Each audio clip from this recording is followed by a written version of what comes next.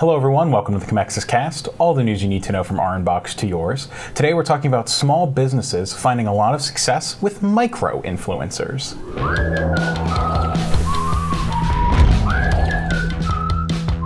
Hello, everyone. I'm Matthew McGordy, the videographer and a podcaster here at Commexis. And today, I am joined by the lead strategist at Commexis, Philip Brooks. Good morning. So today, we're going to be talking about small businesses uh, finding some great success and finding some some very nice ROI uh, with micro influencers. But first, we're going to talk a little bit about the new format that our show is going to be having and our social media feed in general is going to be having. Uh, so this week is just happens to be Influencer Week. We found a lot of great stories about influ- influencers that we want to talk about, that we want to share. Uh, but most importantly, we kind of want to start focusing on a lot of our topics to the buyer's journey, sort of the different steps that you go across and down as uh, your targeted audience hopefully becomes aware of your brand, et cetera, et cetera. So, you wanna- yeah, so at Commexis, our strategies are built around the buyer's journey as a, as basically a, a building block or a framework for all the strategies that we put together for each of our clients. And the reason we do that is because really the future, we believe the future of marketing is, you know, along moving, helping people move along that journey and showing clients not only how you know each of the each of their prospects move along in that in that journey, but also, you know, we can show them specifically successes on each of those steps, so we can show them why what we're doing works, or show them why what we need to do you know needs to be tweaked or whatever. It, it's a lot. It, it makes things a lot simpler because we can explain exactly why we're doing each of these things at each stage that we're doing them, and it really takes everything and puts it in a nice perspective that everybody can look at and, and sort of understand exactly what we're trying to do with each of these individual steps. So, um, you know, and we really think that's the future of marketing, just because it's, you know, everybody's trying to sell something, and everybody, even though everybody defines a conversion differently, you know, all of your prospects still move along some version of the buyer's journey. So. Absolutely, and we're going to be uh, designing a lot more fancy graphics and stuff like that as we go along. Um, but the short and short and sweet of it is, is that each day we're going to be going through a different step of the buyer's journey to give you a more varied picture of what you know a certain step could look like for your end user, for something that you should be doing to try and you know move your end user down the line. So today we're going to be talking about awareness. So just to clarify, each week we'll be going through the entire buyer's journey Yes. from, from Monday through Friday. There's there's surprise and we're not surprised, but conveniently there's five steps in our buyer's journey and five days in a week. So we're mm-hmm. just going to use that format to lay things out, and that way you know every Tuesday we're going to be talking about the consideration stage, mm-hmm. and you know, and et cetera, et cetera, et cetera. So just so to give you some clarification on, on the framework. Yes. So today we're talking about awareness, which is making end users aware of your product for those of you who for those who are not yet aware of it and for as a reminder of some who are aware of it but have either forgotten, fallen off somewhere, something like that. Uh, so today we're talking about micro influencers, small businesses, finding success with them and how that regard it comes in comes in regard to awareness. Awareness. Thank you. Uh, so there's a really great piece uh, by Dinah Wisenberg Brin on Forbes. It will be linked in the podcast description. And she sort of looked at um, one specific company and their success um, with micro influencer marketing. Uh, so this company was um, the mason jar storage company, and they were marketing a new product called Mom's Mason Jar Rack. Uh, and she had um, she had spoke to them and sort of looked at a couple different numbers. So she spoke to Alon Popilskis, uh, who handles the marketing for Mom's Mason Jar Rack. Uh, it's basically a, a rack that you screw in or uh, fasten to a wall, and then it just holds mason jars in a really nice way. I'll have a picture for you to look at. Uh, it's neat. Uh, so there's a quote from him that says, "We decided to work with micro influencers as opposed to large scale influencers due to budget, as well as due to the fact that micro influencers, even though they have smaller audiences, have a more engaged and targeted following, leading to better use of money spent." So according to digital marketing solutions firm Media Hub retail and entertainment clients saw about 50% higher engagement using micro influencers, uh, the firm said last year in a post on its parent organization website. And Media Hub also reported that influencers with 1,000 fans drove 85% higher engagement lift than those with 100,000 followers.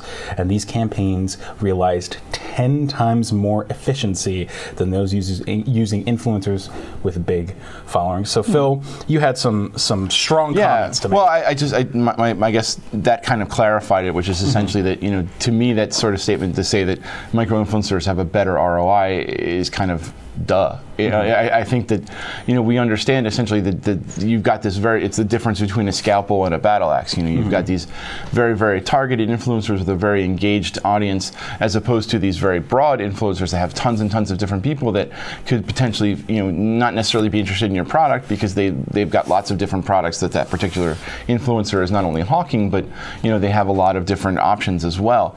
Um, you know, if you're trying to sell something you know very specific, it makes sense to go to somebody that's a little bit more like, like you know if you're not you're not going to go to uh, you know a very high end designer if you're looking to sell these mason jar holders. You're looking mm-hmm. for somebody that's you know doing a country kitchen kind of type of setup or you know something like that. So I think it, it, makes sense, and it's uh, it's almost one of those things that you, you, you, assume it's kind of taken as as, as writ, but people really need to be, mm-hmm. have that explained to them sometimes. So um, the only concern I always have with, with influencers is always the, the authenticity of said influencer. But I think that a smaller audience generally leans towards uh, more likely to be organically grown, uh, and therefore you're less likely to see some that, that sort of fraud in there mm-hmm. because they're you know they're not concerned with getting the biggest possible audience. They're just concerned mm-hmm. with getting an audience that likes what they're doing. Absolutely, and at the end of the day, you always have to do your own due diligence mm-hmm. uh, when looking through influencers.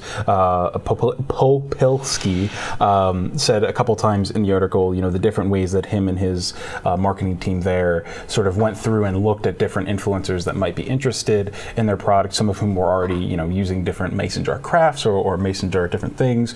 Um, so you just you have to do your due diligence as always. Um, but I, I think you bring up a really great point in that a smaller following is typically indicative of a more homegrown right, audience. Right. And to that extent, you're of course going to have a more engaged audience. Right. You know, we've talked before about influencers. Uh, me and Josh, who's right behind me, um, we talked about on Twitter how. Um, the Twitter follower numbers going down, you know, that's not a big deal because as long as you have an engaged audience, you know, it doesn't matter if you have 100,000 followers mm. if you're not getting engagement from a vast majority right. of them. Whereas if you have a thousand and you're getting engagement from a lot of them, then that's right. obviously way better. Yeah, I mean, that, that's the really the, the key. It's, it's the, you know, the amount of engagement you get from it, not the amount of followers. I, I think, you know, for the amount of money it would cost to get a Kardashian, for example, you know, they're not necessarily going to represent, they're representing such a large spectrum of people that the amount of people that are likely to purchase your product is a, is a smaller percentage than if you find somebody who's very, very specific to that demographic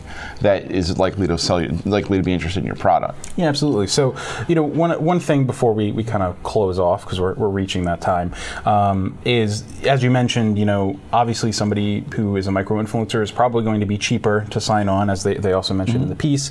Uh, uh, which makes a lot of sense, and also that you know they will have higher engagement. But also, you know, there's a difference between trying to spread awareness to just make people aware mm-hmm. of your brand without necessarily trying to drive and drive a purchase, but there's also awareness where you want to eventually drive them down mm-hmm. a pur- purchase. So making a specific niche audience aware of your product, whether or not they end up buying it, will probably be more effective most of the time than just shotgun blasting right. to everyone. Yeah, and, and, think about it this way too: the the the likelihood that somebody who's a micro influencer will be happier to work with you is, is significantly higher. You're not going to have to, you know, really do a, a pitch of the degree uh, that you're going to need to do with a large scale influencer. And I think that you are going to find people, by and large, that are going to be happy to work with you simply because they understand that you are representative of not only the types of products that they like, but you represent their audience. And I think that you're going to find it's a lot easier of a pitch. It's not going to be you know one of the situations where you're, you're, you're, like really trying to convince them why whether or not you have the a product that they're going to work with.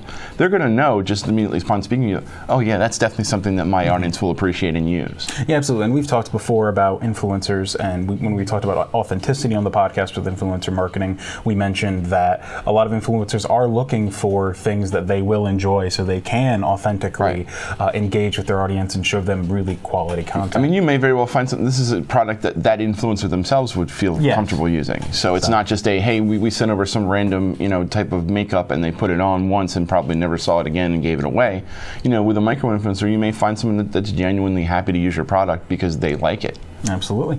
Well, that's all for today's episode of the Commexis Cast. Thank you for watching us. Philip, thank you for joining me adjacent to the table today. My pleasure. Check us out tomorrow for more. You can listen to more of us on SoundCloud, iTunes Podcast Store, Google Play Podcast Store, Google Play Music Store, Stitcher, and TuneIn. And you can watch us in full on YouTube and IGTV. And you can get our nice little snippets in your social feed by checking us out on Twitter, Instagram, Facebook, and LinkedIn.